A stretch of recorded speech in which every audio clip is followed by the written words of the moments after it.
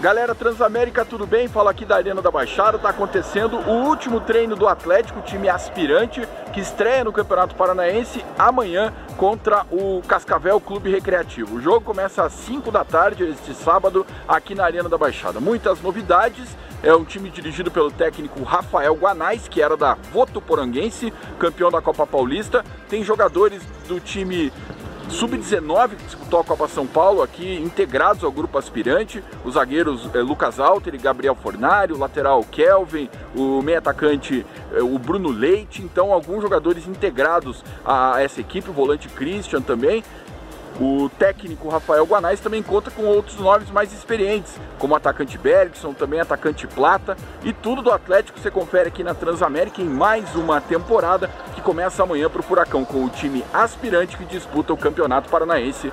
Estreia aqui na Arena contra o Cascavel. Valeu!